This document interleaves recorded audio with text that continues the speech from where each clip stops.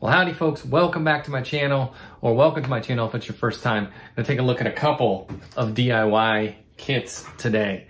So here is the mini APC from Rakit, and here is the uh, Baby 8 sequencer from Rakit. And we're gonna take a look at both of these today, both how they work individually and how they can also be used together. So, should be a fun video.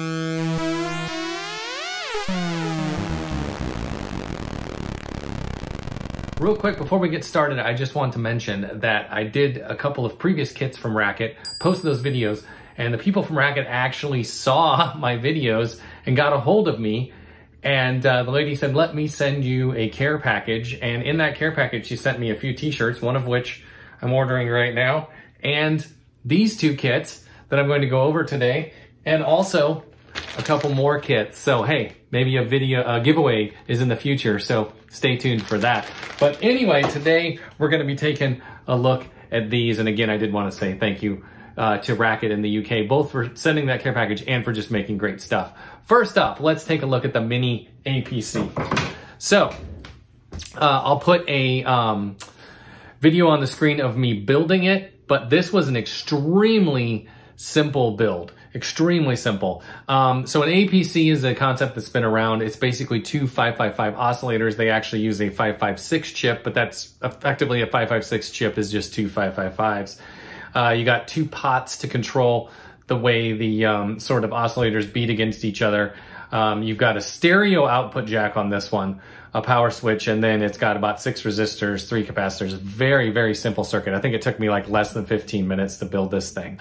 Real quick, let me just show you guys. I also did a couple of my own things. So I noticed that it didn't have an LED for power. So I added one. And what I did is I just added this blue LED to the audio out jack because it also comes with a small speaker if you want to hook it up, um, which I didn't do. But um, instead, I decided to put an LED. Now, I did some testing and found out that this little blue, this five millimeter blue LED seemed to work really well. I tried a couple other LEDs and they didn't quite match well with the voltage. If you're not familiar with that, different LED colors have actual different voltage requirements. But in any case, that happened to be a, a, a happy accident because blue kind of goes with the uh, Rakit aesthetic. Also, this one did not have any standoffs, so I just took four small screws. Maybe you can just kind of see that there, four like little bitty screws and put them in there. And it gives it just enough standoff so that the, uh, you know, ends on the bottom don't, don't uh, ground out if you're on some sort of a conductive surface. So those are just a couple little things I did. But let's hear what this thing sounds like.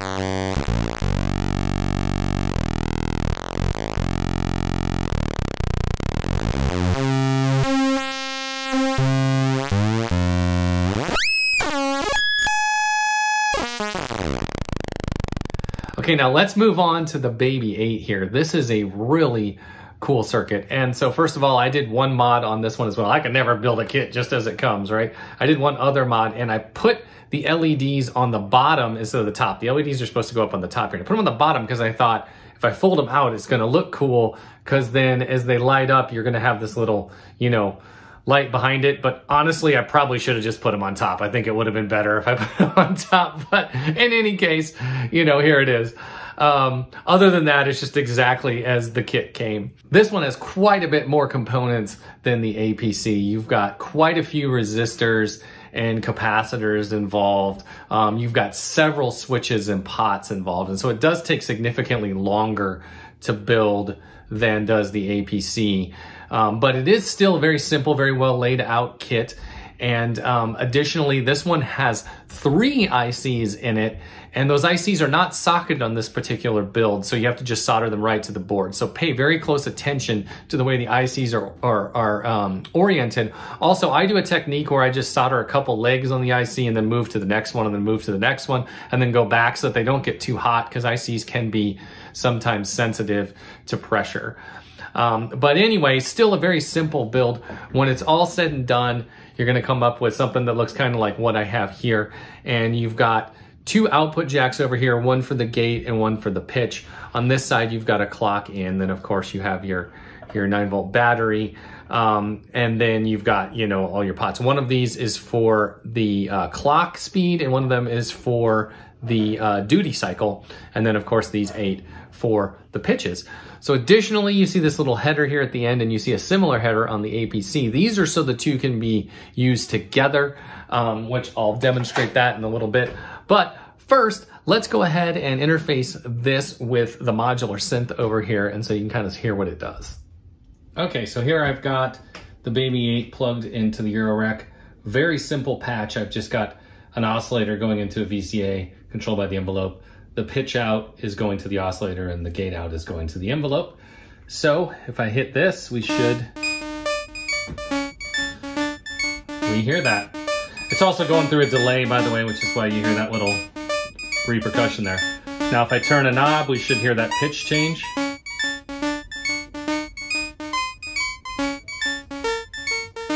This controls your duty cycle, so as I turn this one here, you should hear uh, the sort of gate get longer.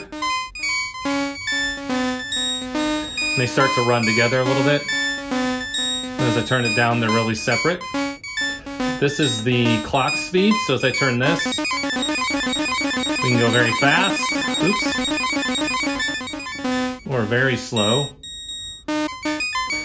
So when we turn these off, we can get some kind of cool, um, more syncopated effects, and then I can kick them back on.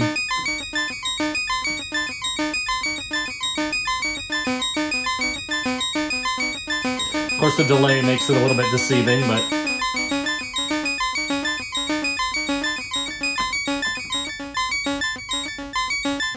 so get some cool effects there.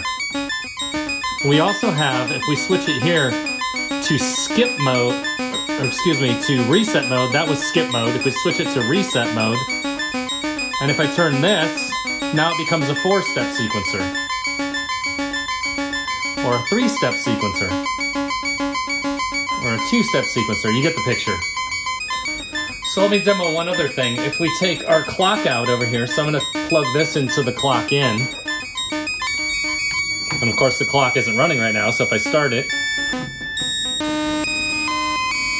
now the modular is controlling the clock speed, and as I turn speed it up,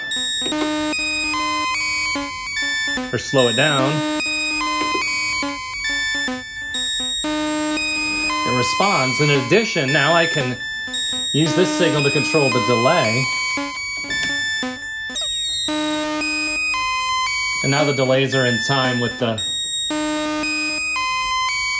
So that's kind of fun. Now, as I mentioned earlier, these two can be used together, and that's what these little headers here are for, which maybe you can just kind of see those. And so it also comes with a bunch of these little wires like this. And what you can do is if you put a wire in this top uh, pin and then a wire in this bottom pin, and then you do the same on the APC, this will transmit power between the two. So this allows you to only use one battery to power both of them. Okay, so now I've got the 9 volt plugged into the Baby 8, and when I hit the power switch, not only does the Baby 8 come on, but so does the APC. So again, so just using one battery controls both of them. So that's kind of a neat little feature. But in addition, it allows you to send like gate signals from the sequencer over to the APC to get some different effects. So let's take a look at that real quick.